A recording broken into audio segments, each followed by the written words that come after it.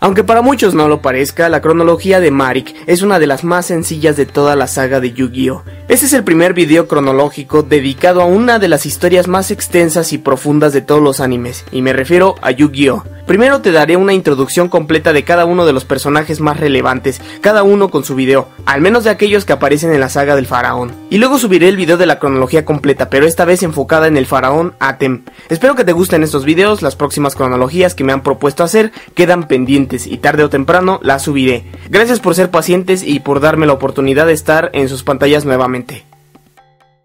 La época más antigua registrada en la serie de Yu-Gi-Oh se remonta 10.000 años atrás en Atlantis, pero como esa historia es harina de otro costal, avanzaremos un par de años adelante, y para ser exactos, avanzaremos 5.000 años después, hasta el antiguo Egipto. Tiempos en los que gobernaba el faraón Aknamkanon, se trata del padre del próximo faraón, Atem. Nos remontamos justo aquí precisamente porque en estos momentos se vuelven muy populares los duelos de las sombras. A pesar de que muchos años atrás ya se registraba la utilización de monstruos en el antiguo Atlantis, los habitantes eran poseídos por todo tipo de espíritus malignos, lo que les hacía actuar horriblemente, atentando no solo contra el faraón, sino en contra de la humanidad. Algunos de esos espíritus eran tan poderosos que hasta se manifestaban físicamente, convirtiéndose en monstruos. Monstruos que con el paso de los años serían utilizados por los hechiceros más poderosos del mundo. Todo esto da como resultado una terrible guerra que amenaza con casi destruir al mundo, hasta que el sacerdote Agnadin, con ayuda de los hechiceros más poderosos del reino del faraón y basándose en el libro de hechizos milenario, logra crear unas piezas especiales. Se trata nada menos que de los siete artículos del milenio, que en un principio servirían para ayudar a salvar al reino del faraón Aknamkanon. Gracias a estos, se pudieron encriptar a todos los monstruos colocándolos dentro de unos enormes bloques de piedra. Unos bloques que solo se podían invocar con ayuda de un mecanismo especial, lo que significaba que su utilización ya no estaba al alcance de cualquiera aunque con el tiempo estos serían responsables de todavía más sufrimiento, ya que serían utilizados por el bandido Bakura para invocar al oscuro, un monstruo legendario hecho con pura maldad del que hablaremos a profundidad en próximos videos. Una batalla en la que los dioses egipcios, e incluso Exodia el prohibido, sería utilizado con el fin de detener a aquel monstruo tan temible, aunque sin mucho éxito. Todo esto provoca que el nuevo faraón Atem tenga que sacrificar su vida por el bien de su nación. La única forma de detener al oscuro no era combatiendo contra él, sino encerrándose con él. Una vez que el faraón comprende esto, entonces comienza con los preparativos para poder lograr este ambicioso plan. Así que lo primero que hace es despedirse del sacerdote Seto, quien no solo era el hechicero más destacado de toda la corte sagrada, sino también un compañero, un rival y además un primo. Y no solo se despide, sino que además le cede su título de faraón. Y como parte del espíritu del hechicero del ladrón Bakura se introduce en la sortija del milenio, Atem entiende que este no es el fin, sabe que Bakura se volverá a aparecer algún día para liberar nuevamente al oscuro. Así que antes de irse, tiene que pedirle un enorme favor a una familia muy especial, a la familia Ishtar, un favor que duraría 5000 años. Es posible que este favor le fuera encargado directamente a la sacerdotisa llamada Isis, quien sin duda parece ser pariente lejana de Ishizu Ishtar. El favor era que cuando su espíritu volviera a aparecer, algo que ocurriría tarde o temprano, no se sabía cuándo, estos le mostrarían la llave de sus poderes para poder combatir algún día contra el oscuro. Se trataba de unos jeroglíficos que luego son tatuados en la espalda de uno de los primeros integrantes varones de la familia Ishtar. Unos tatuajes que se van heredando de generación en generación cuando un miembro varón es iniciado a su edad de 10 años. Así que sin más encargo, como último recurso, el faraón Atem encierra al espíritu del oscuro, y para asegurarse de que todo saliera perfectamente, tenía que encerrarse junto con este, utilizando su propio nombre como contraseña, quedándose dentro del rompecabezas del milenio junto con todos sus recuerdos que más tarde serían olvidados. Un hechizo logrado con mucho éxito, ya que luego de eso el rompecabezas es destruido, lo único que queda de este serían un montón de piezas que nadie conseguiría armar, sino hasta luego de 5000 años. Luego, en una época indeterminada, el sacerdote y nuevo faraón Seto esculpe con ayuda de los poderes de su cetro del milenio una gran roca en la que se aparece él, los dioses egipcios y su antecesor Atem. Esta piedra será muy importante a lo largo de toda esta historia. Más adelante los artículos del milenio empiezan a resguardarse cerca de la cámara en la que se encuentra esta piedra, y es cuidada celosamente por diferentes guardianes de los artículos del milenio, esperando fielmente el regreso del faraón Atem. También en una fecha desconocida, Shadi Shin, mejor conocido por sus seguidores como el Maestro Shin, se convierte en el guardián de las tumbas del antiguo Egipto, más particularmente en guardián de los artículos del milenio, haciéndose acreedor de la llave y de la balanza del milenio. Shadi es un ser con una talla espiritual que se reúne con frecuencia con algunos de los huérfanos que se encontraban ahí. Suceden muchos acontecimientos más, y entonces la familia Ishtar no solo tiene que cuidar de aquellos jeroglíficos, sino además de la tumba del faraón. Así que debajo de unas ruinas en Egipto, durante generaciones la familia Ishtar cuida con recelo aquellas instalaciones, en las que se encontraba una ciudad subterránea protegida por cientos de golems que cuidan la tumba del faraón, un sitio en el que ningún mortal que no fuera descendiente de la familia Ishtar podría entrar, un sitio en el que se encontraba la piedra tallada por el antiguo faraón Seto y en el que cerca de ahí se resguardaban todos los artículos del milenio. Pasan generaciones hasta que en el año de 1991 el descendiente directo de la familia Ishtar no puede tener hijos, por lo que siente una terrible frustración ya que necesita a un descendiente varón para seguir con la promesa de la familia. En este mismo año nace Odion, y es dejado cerca de aquellas ruinas y encontrado por la madre de Ishizu y Marik, quien más tarde lo adoptaría. Y aunque el señor Ishtar ya tiene un hijo varón, no quiere dejarle el peso de su descendencia a este, ya que él no es parte de la familia. Con el tiempo empiezan a tener un poco más de suerte y en el año de 1996 nace Ishizu. El problema nuevamente es que aunque Ishizu, si es su hija legítima, es hembra, por lo que no pueden dejarle el legado familiar. Hasta que en el año 2000 al fin tienen un hijo varón al que bautizan como Marik. En su nacimiento su madre fallece. Al ver que Marik es el próximo heredero del legado familiar y de la llave del faraón, entonces automáticamente Odion se convierte en su sirviente personal Así que cualquier cosa mala que le sucediera a este, Odion sería cruelmente castigado. Y aunque Marik crece siendo un niño feliz, también lo hace siendo bastante curioso, quiere ver al mundo exterior, pero no se lo tienen permitido. Aproximadamente entre los años 2005 y 2010, Shadi Shin es asesinado por el Bakura Yami, quien despierta debido al contacto que Bakura tiene con la sortija del milenio. A pesar de que Shadi es asesinado, continúa siendo el guardián de los artículos del milenio, pero esta vez solo es un espíritu sin cuerpo físico. A partir de este momento, se la pasa buscando a personas para ver si son aceptadas por los artículos del milenio. En su viaje, y por accidente, deja sin ojos a un número indeterminado de personas por tratar de injertarles el ojo del milenio. Algunos de estos son víctimas del mal que existe por culpa de estas piezas antiguas. Creo que el fin de todo esto era el de encontrar rápidamente al faraón, cosa que les toma bastante tiempo.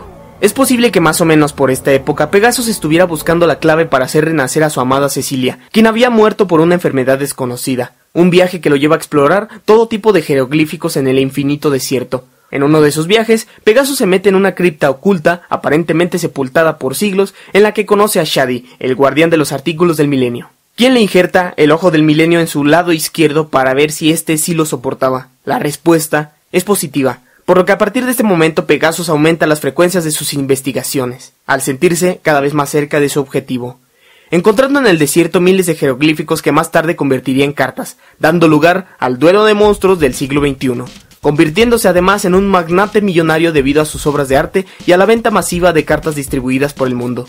De hecho, en el año 2008, Yugi Moto apenas recibe al rompecabezas del milenio y comienza a armarlo con la esperanza de algún día tener amigos. Y retomando la historia de Marik, estando dentro de aquellas instalaciones antiguas, no hay mucho que hacer, excepto jugar al duelo de monstruos, con las cartas que Pegasus ya estaba distribuyendo por todo el mundo. Así que Marik tiene un montón de duelos con su hermana Ishizu, la cual parecía invencible ante este, aprendiendo así sus técnicas de duelo. Y el resto de tiempo lo utiliza aprendiendo a obedecer las antiguas escrituras y a proteger la tumba del faraón. Marik dedica su vida a las escrituras del faraón, pero tiene mucho miedo de ser iniciado, ya que aquello era muy doloroso. La iniciación consistía en tatuarle en toda la espalda la llave del poder del faraón, unos tatuajes hechos a la antigua. Marik tiene tanto miedo que un día Odion le pide a su padrastro ser él el próximo cuidador de tumbas, para que Marik pueda ser libre. Lo único que provoca a Odion es ser castigado una vez más por el padre de Marik. Así que sucede lo inevitable y Marik es iniciado, y con el inmenso dolor que siente se va dejando llevar por la maldad que se genera en su corazón, un odio enorme hacia el faraón, quien creía que era el responsable de todo su sufrimiento. Aunque esta maldad es sobrellevada gracias a la intervención de Odión, quien le muestra un cariño incondicional, demostrándole además que su sufrimiento era mutuo, tatuándose él mismo las escrituras del faraón, un dolor compartido que hace que Marik pueda llevar un poco mejor aquella maldad.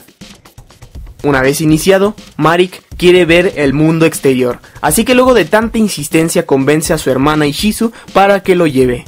Y por primera vez, Marik logra presenciar la enorme luz que genera el sol en un brillante amanecer. Con lo que ellos no contaban era con que su papá se fuera a dar cuenta de su salida de inmediato, por lo que este castiga a Odion de diferentes maneras utilizando los poderes del cetro del milenio, mientras que Marik y su hermana se van juntos al pueblo, lugar en el que Marik conoce lo que es una televisión y por supuesto conoce a las motocicletas. Le gustan tanto las motocicletas que se lleva consigo una foto de una de estas. En eso se encuentran con Shadi, quien les advierte que el faraón llegará muy pronto y que si rechazan su deber como cuidatumbas, entonces aquello les traería muchas tragedias. Con la advertencia, se regresan rápidamente a las instalaciones en la que ven cómo castigan a Udión. Entonces Marik se enfurece por todo el daño que le hacen, además de que luego de que saliera es incapaz de olvidar todo lo que ha visto en el exterior, así que quiere salir nuevamente. Y con toda la rabia contenida, el espíritu Yami Marik se aparece tomando posesión del cuerpo de Marik, quien inmediatamente hace uso del cetro del milenio para enviar a su padre al reino de las sombras. En la versión del manga lo despelleja. Debido a este acontecimiento, Shadi vuelve a aparecerse haciéndole a Marik una última advertencia, diciéndole que no debe abandonar la tumba del faraón ya que éste pronto volverá. A pesar de lo ocurrido, cuando Marik recupera conciencia no recuerda nada y cree que Shadi es el responsable de haber asesinado a su padre, y sus hermanos no son capaces de decirle que el responsable de aquel asesinato había sido él mismo, o más bien el espíritu maligno que lo había poseído, el Yami Marik. Con el tiempo Marik se calma un poco hasta que llega el año 2016, en el que Marik cumple sus 16 años. A su vez que Pegasus continúa con sus investigaciones. Un día, Shadi lo ayuda a meterse a la tumba en la que se encontraba la familia Ishtar una cámara subterránea en la que se infiltran utilizando los poderes de la llave del milenio, haciéndose invisibles ante la vista de los golems, hasta que encuentran una enorme pieza en la que estaban talladas una serie de jeroglíficos en los que aparece el faraón Atem y su amigo hechicero combatiendo con ayuda de los dioses egipcios. Todo esto es grabado y documentado por Pegasus para luego fabricar sus propios naipes. Aunque en el desarrollo de estos, muchos empleados de la corporación de Pegasus mueren accidentados debido a los poderes de los dioses egipcios, es como si las fotos no solo hubieran captado la imagen de estos, sino también sus poderes. Como nadie es capaz de dominar aquella fuerza, entonces Pegasus tiene que hacerlo por su cuenta, con ayuda de los poderes de su ojo del milenio. Así que con el tiempo, convirtiéndose en una de sus obras maestras, este termina de pintar a los dioses egipcios, inmortalizándolos en naipes, escribiendo, incluso en la carta del dragón al lado de Ra, una inscripción que posiblemente ni siquiera entendió. Un día, se espanta porque los poderes de estos le hacen soñar de un modo terrible, armándose todo un desequilibrio místico.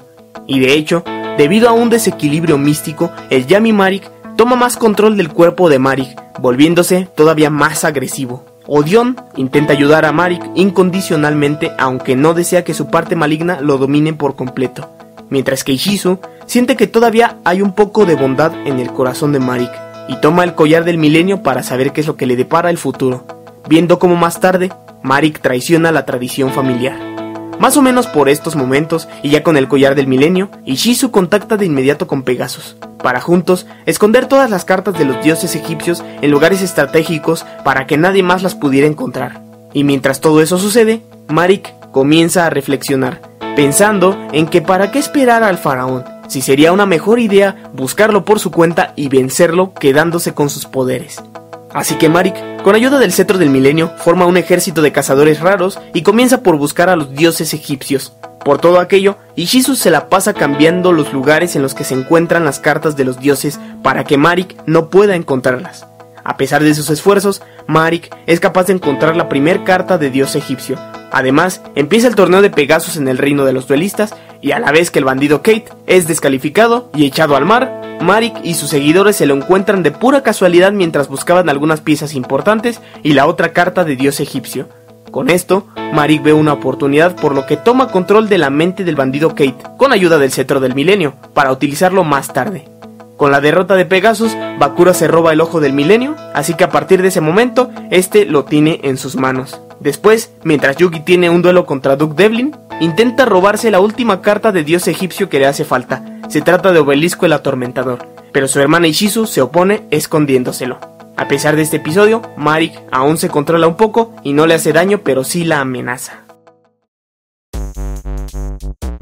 A pesar de no haber juntado a los tres dioses egipcios, Marik se dirige en busca de Yugi por lo que Shizu, luego de sus visiones, decide dirigirse hacia la misma ciudad e instala un museo mostrando todo tipo de artefactos y jeroglíficos que muestran la historia de los antiguos duelos egipcios una exposición arqueológica relacionada con el duelo de monstruos y con los artículos del milenio. Todo esto con el fin de ayudar al faraón y de encontrarse con Kaiba para darle a Obelisco el atormentador, y que se cumpla su destino como el competidor más grande del faraón, uniendo sus fuerzas con este para salvar al mundo, igual que se hizo hace miles de años. Así que luego de muy poco, Marik localiza a Yugi y con ayuda del bandido Kate, que se encuentra poseído por este, intenta quitarle el rompecabezas del milenio, para luego apostarlo y ganárselo en duelo. La idea de ganárselo es que según las reglas de su antigua magia, debe ganarle el rompecabezas primero para lograr hacer uso de sus poderes. Y aunque Yugi casi consigue ganar, el bandido Kate recupera su conciencia. Es cierto que Yugi pone en riesgo su vida, pero no permite que el rompecabezas sea destruido. En eso, Bakura aprovecha la situación para introducir una parte de su espíritu en una de las piezas de rompecabezas de Yugi. Y mientras tanto, el Museo de Ishizu abre sus puertas, por lo que esta da una conferencia de prensa en televisión, invitando a Kaiba para que asista a este con la promesa de darle una carta más poderosa que la de Exodia el Prohibido. Kaiba asiste sin pensarlo demasiado, aunque un poco incrédulo. Así que Ishizu le explica a Kaiba parte de la historia antigua del duelo de monstruos, explicándole además cómo es que Pegasus trajo al siglo XXI el duelo de monstruos. Le muestra a Kaiba algunos jeroglíficos, mostrándole cómo los monstruos son idénticos a los de las cartas, además de enseñarle a unos duelistas dibujados que son idénticos a él y a Yugi, asegurándole que se trata de sus vidas pasadas. Ya que Kaiba continúa demasiado incrédulo, Ishizu utiliza su collar del milenio para mostrarle un duelo que tuvo uno de sus antepasados contra el faraón. Un duelo en el que éste se da cuenta de que para poder invocar monstruos se tenían que sacrificar otros como ofrenda. Como Kaiba sigue sin querer creer nada de eso, entonces decide irse, pero antes de que se vaya, Ishizu le regala a Obelisco el atormentador contándole que en total eran tres dioses egipcios, que solo le faltaban dos, pero que para conseguirlos tendría que batirse en duelo con los hombres de Marik. Así que Kaiba, lleno de ímpetu y emoción, decide empezar con los preparativos para dar inicio con un torneo en Ciudad Batallas. Un torneo para atraer duelistas que tuvieran a los otros dioses egipcios que le faltaban.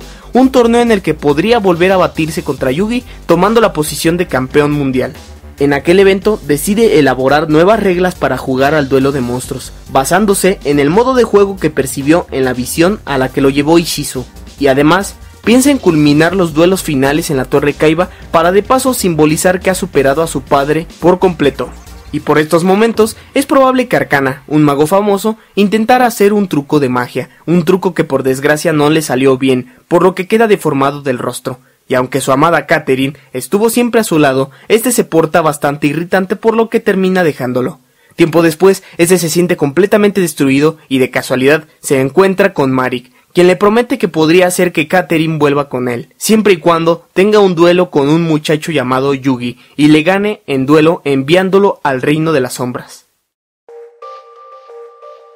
Así que con los preparativos para el torneo de Ciudad Batallas, Marik le ordena a Odion que con ayuda de los cazadores reúnan 12 cartas localizadoras para que dos personas entren a las finales. Esas dos personas serían el mismo Marik y por supuesto el mismo Odion, a quien le hacen un cetro del milenio falso para decirle al mundo que él es Marik. Además, Marik intenta hacer copias pirata del dragón alado de Ra, pero muchos de sus cazadores raros sufren terribles accidentes, Así que siente que esto sucede debido a que una persona común no puede invocar los poderes de un dios egipcio. Sin embargo, los accidentes parecen ser provocados debido a que la carta del dios egipcio es la imitación y no la auténtica, además del otro motivo que de por sí ya es suficiente. Luego, también Marik infiltra a decenas de cazadores raros y legales al torneo de Ciudad Batallas para que reúnan todas las cartas raras que pudiesen encontrar y de las primeras cartas raras que se roban es la del dragón negro de ojos rojos que solía pertenecerle a Joy Willier. Luego Yugi tiene un duelo con aquel cazador raro y recupera al dragón negro de los ojos rojos. Kaiba se da cuenta de inmediato que este competidor se ha infiltrado ilegalmente y que además sus cartas están hechas con una tinta semitransparente. Pero Kaiba permite que esos duelos continúen debido a que este era el fin del torneo, lograr atraer a los dueños de los otros dioses egipcios, en esos momentos, Kaiba tiene un montón de duelos arrasando fácilmente con varios duelistas utilizando a Obelisco el Atormentador. Sin embargo, Marik decide concentrarse en Yugi, haciendo que el mago arcana lo atrape en una plataforma escondida en la que arriesga sus vidas en duelo. Finalmente, Yugi gana el duelo gracias a la traición del mago oscuro de Arcana y a la aparición de la maga oscura, mientras que Arcana se da cuenta de que Marik no le devolverá a su amada Catherine.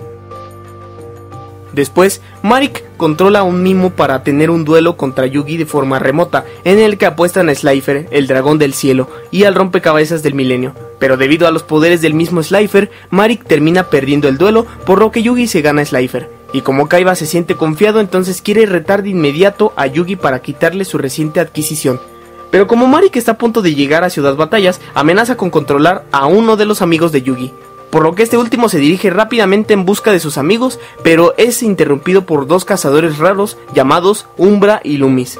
Kaiba le ayuda a vencerlos en un duelo de 2 contra 2 en el que invoca a Obelisco el Atormentador, ganando rápidamente sus cartas localizadoras y el duelo. En el camino, Marik se encuentra con Bakura y forman una aparente sociedad en la que juntos buscarán los artículos del milenio por lo que planean un modo para que Marik se acerque a Yoi sin que éste lo sospeche, para luego controlarlo junto con Tea. Además, para variar y para hacer que la apuesta se complique mucho más, secuestra a Mokuba, aunque este no tarda mucho en escapar. Y para mantenerlos distraídos, Umbra y Lumis vuelven a retar en duelo a Yugi y Kaiba, pero esta vez con otra estrategia y arriesgando su vida. Luego de un duelo de 2 contra 2, Yugi y Kaiba logran ganar, conservando sus vidas, sus dioses egipcios y completando la suma total de todas las cartas localizadoras. Mientras que Umbra y Lumis caen en el reino de las sombras como castigo por no haber ganado el duelo. Después, Tea y Yoi son parte de un plan maléfico preparado para que sin importar qué, Yugi pierda la batalla y de paso a uno de sus mejores amigos. Así que Yugi tiene que tener un duelo contra Yoi, quien está siendo controlado por Marik. Un duelo bastante complicado en el que Yugi tiene que apelar la amistad que tienen juntos para poderlo despertar. Marik va perdiendo el control de Yoi de poco en poco hasta que gracias al poder del amor y la amistad logra liberarse. Entonces Serenity se quita los vendajes en un arranque de desesperación por salvar a su hermano quien cae al mar, viendo a su hermano luego de más de 6 años sin hacerlo y sacándolo del mar, salvándole la vida. Claro que nada de esto hubiera sido posible sin ayuda de Kaiba quien intervino todo lo que pudo para salvar a Tea. Después todos se dirigen hacia la final en donde aparece Namo, quien realmente es Marik, Bakura, Odion e Ishizu, el primer duelo es de Yugi contra Bakura, quien utiliza todo tipo de estrategias interesantes para ganar, pero es vencido por Yugi. Y eso que en una ocasión Marik se introduce en la mente de Bakura para ayudarlo a ganar. Gracias a esto, luego el Marik original puede hacer tratos con Bakura dentro de su mente. Y como sucede todo esto, Shadi, el guardián de los artículos del milenio, percibe que cinco de los artículos están todos reunidos en un solo lugar, así que se dirige hacia el globo de Kaiba con el fin de ver qué sucede, además de ver a Yugi para platicar con él. Ishizu tiene el collar del milenio, Marik tiene su cetro del milenio, Yugi tiene el rompecabezas del milenio, Bakura tiene el ojo del milenio y su sortija del milenio, y finalmente Shadi tiene su llave y la balanza del milenio, dando un total de 7 artículos del milenio. El torneo es todo un festival porque todos los duelos contra Marik y Bakura tienen al reino de las sombras involucrado. Después de esto, Joy tiene un duelo contra Odion, quien se hace pasar por Mari Gishtar. Tienen un duelo en el que Odion intenta invocar al dragón alado de Ra, pero no lo consigue porque ese dragón es una copia pirata. Joy gana el duelo porque Odion no puede continuar ya que le cayó un rayo en la cabeza y lo mismo le pasa a Joy aunque este último sí logra levantarse. Por todo lo sucedido, Marik pelea con el espíritu maligno que tiene en su interior, enfadándose tanto que cambia su apariencia siendo más monstruosa y con los pelos más parados. Mai es la siguiente a participar teniendo un duelo contra Marik, un duelo en el reino de las sombras en el que Mai pierde recuerdos sobre sus amigos y es enviada al reino de las sombras por lo que Joy quiere más tarde vengarse de Marik. Con el paso del tiempo, Marik pone resistencia hasta que el espíritu maligno Yami Marik lo encierra en una pirámide extraña en el reino de las sombras, o eso es lo que él creyó, ya que en esencia el espíritu de Marik quedó dentro del cuerpo de Bakura, Así que el Marik original hace un trato con este prometiéndole que si detenía al Marik maligno, entonces le daría su cetro del milenio. El siguiente duelo es el de Kaiba contra Ishizu, y aunque esta todo el tiempo utiliza el collar del milenio para predecir el futuro, no logra ganarle en batalla a Kaiba, aunque este por poco pierde. Si no fuera porque este utilizara el cetro del milenio sin darse cuenta, evitando una mala jugada. Además, como Kaiba sigue interesado por conocer más a fondo al dragón alado de Ra, le dice a Mokuba que investigue todo lo que dice la carta del dragón. Pero cuando él mismo ve aquel dialecto se sorprende de entenderlo a la perfección, a pesar de no haberlo visto nunca en su vida, descubriendo que el dragón alado no solo tiene los poderes que tiene escritos la carta, sino muchos más, que quizá nunca podrá saber nadie. Con sus investigaciones, Kaiba llega a la conclusión de que para vencer al dragón alado de Ra, ocuparía la carta mágica del santuario del demonio. Finalmente, para aclarar las cosas, Ishizu les cuenta todo sobre su hermano Marik, y además le da su collar del milenio a Yugi con el fin de colaborar para salvar al mundo, ya que de por sí este collar ya se rehúsa a mostrarle el futuro a Ishizu. Mientras que el espíritu maligno de Marik intenta mandar a Odion al reino de las sombras, pero es detenido por Bakura, quien tiene un duelo con el Marik maligno, ya que como recordemos, le prometió darle su cetro si lograba vencerlo.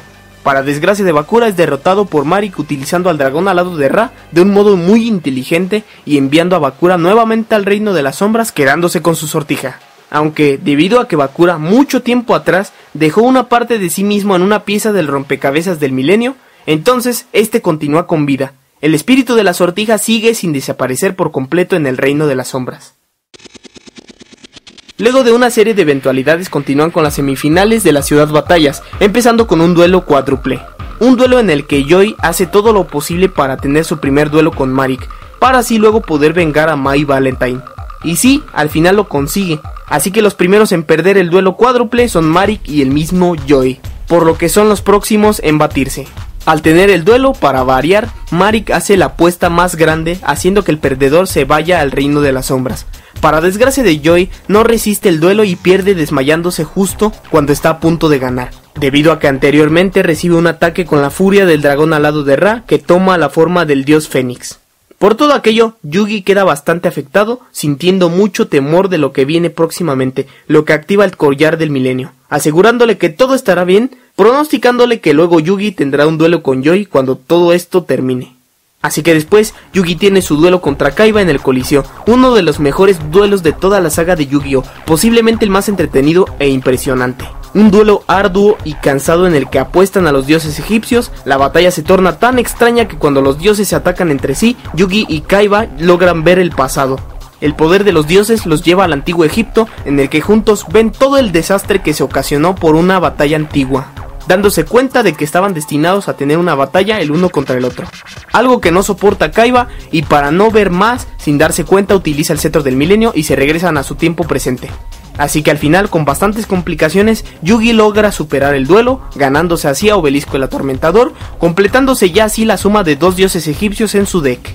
Entonces, Joy logra despertar y creo que la razón por la cual lo consigue es porque en su duelo con Marik no perdió todos sus puntos de vida. Por lo tanto, su mente no se fue al reino de las sombras y permanece en buen estado. Y luego despierta demasiado optimista, tanto que reta en duelo a Seto Kaiba con el fin de desquitarse por todos los insultos que le ha hecho. Un duelo que Yoi pierde. Y mientras todo eso sucede, el Marik original busca a su hermana Ishizu con ayuda del cuerpo de Tea. Luego de eso intenta enfrentarse al espíritu maligno, pero es sometido por este hasta que Yugi se aparece y Marik se va. Creo que le tuvo miedo y por eso se fue. Luego Kaiba es convencido por su hermano Mokuba para ayudarle a Yugi a vencer al dios egipcio dragón alado de Ra. Así que le presta a Yugi la carta mágica Santuario del Demonio para que pueda vencerlo, una carta que debe utilizar inteligentemente.